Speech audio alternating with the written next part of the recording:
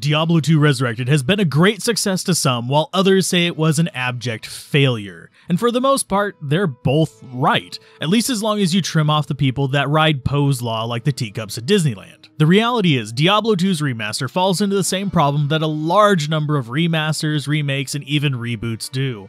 And that is rather than just fighting against the hype like a new release, they're fighting against hype and nostalgia, which can create quite the rough environment. So today I want to look at how Resurrected failed and succeeded in its first six months, and what it can and cannot be fixed. As we all know, if Blizzard's reports are accurate, Resurrected was a financial success, so that would be a bit of low-hanging fruit to use as the sole indicator of success or failure, since it's actually not hard to have a bad game be financially successful and a great game bleed money. The better way to look at it is whether the game delivered on its promises and whether it gave players a satisfying experience. Obviously, the elephant in the room in that regard is console, where most of the consensus seems to be that the game is mediocre at best and a train wreck at worst, depending on whether you play multiplayer and what types of builds you prefer using. This is because several quality of life aspects we take for granted on PC are missing, from things everyone would interact with, such as not allowing keyboard and mouse on the platforms that could allow it, to things that only affect online players, such as lack of custom lobbies or reliable communication methods with other players. This leading to primarily a disjointed and extremely different experience than you would get on PC. A really odd catch on the control front, too, is that oddly enough, the original Diablo 1's controller scheme on the original PlayStation felt smoother than that of Diablo 2 Resurrected, but that required transformative changes to the game's mechanics which might be outside the scope the development team felt comfortable in or even what they were allowed to do, but it is definitely something that should be looked at, with potion organization and spell aiming being probably the two most notable aspects that just feel bad on controller. As far as the multiplayer though, that is a bit of a deeper quagmire. There is cross progression, meaning you can play online on PC and then move over to your Switch to play while you're on the train or such, giving you some freedom on where you play. The big but here, though, is that there isn't proper crossplay. This is actually something that can be impacted by forces beyond the developers, since getting Sony, Microsoft, and Nintendo to agree to cross platform play can be a bit of a struggle at best or impossible at worst, depending on the title and the company asking.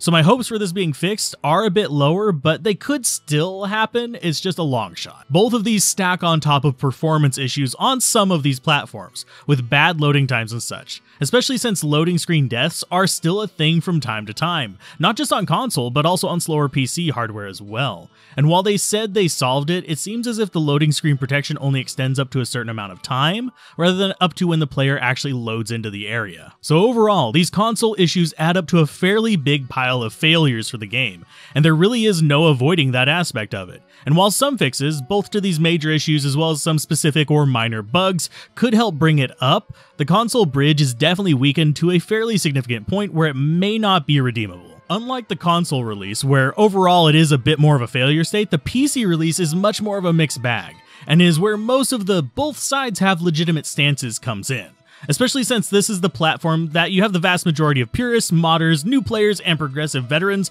all butting heads constantly on. So it would be impossible to make them all happy, and a lot of the butting heads is caused by one of the more annoying flaws in the PC release, the check-in DRM. The check-in DRM requires that the game be able to check into the Battle.net servers approximately about once a month or so, and as a form of DRM protection. Obviously, this has already been cracked, so you can patch it out if you want to crawl through some of the shadier sides of the internet. But for your average user, the answer is pretty much going to be if they don't like an update, they'll probably just stop playing, rather than looking for a new way to permanently stop the updates. Similarly, while the modding for D2R is still possible, it is far more restricted, and without a naturally supported method of creating and playing multiplayer mods with friends, you're seeing far more insular modding being the main path people are taking. This generally leads to more stacked modding, such as adding items, larger stashes, graphical changes, etc., as opposed to full conversion mods built around multiplayer economies such as Median XL and Project Diablo 2, which bring new co-op and PvP opportunities to the formula, extending the life of the game for many veteran players. A solution to this, since there are legitimate concerns over the older methods of multiplayer connectivity, would be for Blizzard to introduce a connection system more in line with Steam's multiplayer tools, where players can invite others to their locally hosted modded servers and could even be used as multiplayer alternatives for vanilla Resurrected with your single player characters. This wouldn't be a perfect solution, but would be orders of magnitude better than the current insular system that doesn't allow for multiplayer modding. Now, we've gone through some fairly heavy lists of negatives so far, but it does turn around since Diablo 2 Resurrected does bring a lot of positive to the table. Among them, a plethora of quality of life changes that were seriously needed in Lord of Destruction, and required the use of composite mods to achieve, or some of them even really too difficult to achieve in Lord of Destruction. Whether it's something simple like gold pickup or more stash, which was a common thing, or something a bit more complex like quick keys or controller support, they're definitely welcome improvements for the quality of life of playing the game. And the biggest plus for me, and an example of diverging wish lists since it is actually something that is a big negative for purists, I'm happy that they're addressing skill imbalances, and while power creep is a bit of a concern, as are PvP balance concerns. The fact is, having more viable playstyles in the A and B tier without top tier equipment is definitely a welcome change for people who enjoy solo self-found or single playstyles. And seeing some of the I wish it was good builds finally get some love, even if they won't be meta, is so welcome too. And with the incoming patch 2.4 and soon after that the ladder, a lot of the early wishlist checkmarks are being checked, even if it's several months late.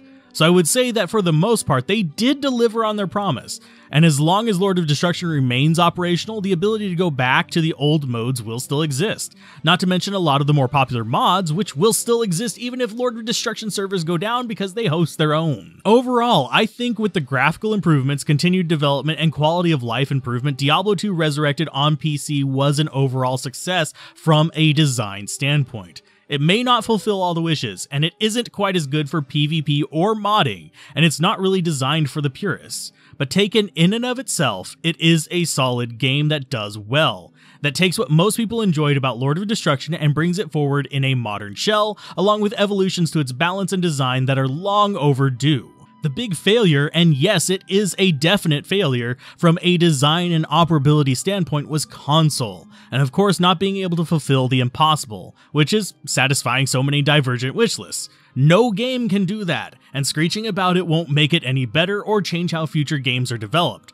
And the best way to look at Resurrected is how many of us looked at Lord of Destruction in the day as a game that brings new features, updates, and balance changes to the formula we already enjoyed. Is it worth the hefty price tag though? That's for you to decide. But for me, it has made its value. And while I don't agree with every change, I can say I do approve with the direction it's taking and the fact that they are working to try to improve the game that we all love.